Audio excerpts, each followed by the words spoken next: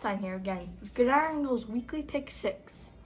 This is week 17, the final week of the regular season. Happy New Year, everyone! I hope 2021 is off to a great start. Hopefully, it will be better than 2020. I went 5 and 1 last week, which is my best week so far. The Steelers spoiled my perfect 6 0 week by making a miraculous comeback against the Colts. Magic 8 Ball went 4 and 2. Since it's the last week of the regular season, I'm going to put my dog Teddy to pick some games too. Let's see if he has a nose for picking NFL games. My first game is the 10 5 Miami Dolphins at the 12 3 Buffalo Bills. The Bills are only a two point home favorite. Miami is win and get in for the playoffs. But Roger Fitzpatrick is out for the Dolphins after contracting COVID. So Miami will have to rely on the younger Tua to step up to get them in the playoffs. The Bills are playing great ball and stomped the Patriots last week. I am picking the Bills. Let's see what Magic 8 Ball says. Outlook, not so good. What? He picked the Bills. So these are the picks so far. Next game is a 6-9 Washington football team at the 4-10-1 Philadelphia Eagles. Washington is a three-point road favorite. The Eagles' offense has struggled so much they benched Carson Wentz in favor of Jalen Hurts. The Washington defense is really strong, especially the front seven. Look, somebody has to win this stinky division, so I might as well let my coin decide. Heads is Washington, tails is the Eagles. Heads, guess it's Washington. Magic 8 Ball, what do you say? Outlook, not so good. Magic 8 Ball, you must be broken if you disagree. Teddy, how about you?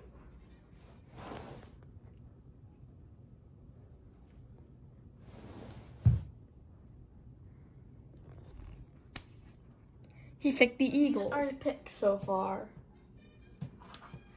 The fourth game this week is the 8 and 7 Arizona Cardinals, the 9 and 6 LA Rams. The Cardinals are three point road favorites. The Rams have lost two in a row, including a loss to the Jets. The offense looked terrible against the Seahawks last week. Cardinals did not look much better against the 49ers last week. Kyler Murray is a little hobbled after injuring his leg late in the game last week. Even though Jared Goff has not been playing well, the Rams defense is probably the best unit in this game. So I'm taking the Rams in a low scoring game. Magic 8 Ball, am I right? Ask again later. Magic 8 Ball, am I right? Ask again later. Magic 8 Ball, am I right? Ask again later. Magic 8 Ball, am I right? Outlook, not so good. Teddy? He. Come on, Teddy. Teddy. He picked the. He picked the Cardinals. So these are our picks so far. The next game is the 12 and 3 Green Bay Packers at the 8 and 7 Chicago Bears. Green Bay is a four point road favorite. Packers are still trying to lock in the top seed in the first round bye and home field advantage. So this is definitely a meaningful game for Aaron Rodgers and crew.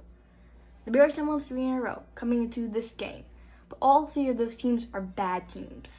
The Packers will be without their all-pro starting center, but defense should be more than enough to send the Bears until they went their winter hibernation. I like the Packers to win this one. Magic 8 Ball, what do you think? Concentrate and ask again. Magic 8 Ball, what do you think? Concentrate and ask again. Magic 8 Ball, what do you think?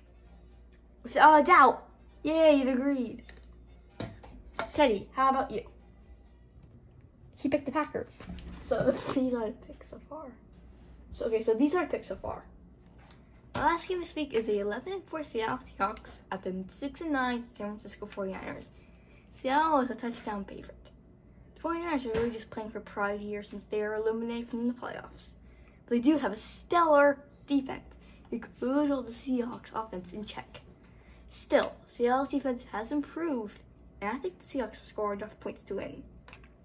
Magic 8 Ball. Outlook. Good. Teddy? He picked the Seahawks. picks this week. Thank you for watching Good Angles Weekly Pick 6. Please join me in my quest to get a perfect 6 0 week. Subscribe to my channel and tune in next week as I pick the wild card week games. See you in the playoffs.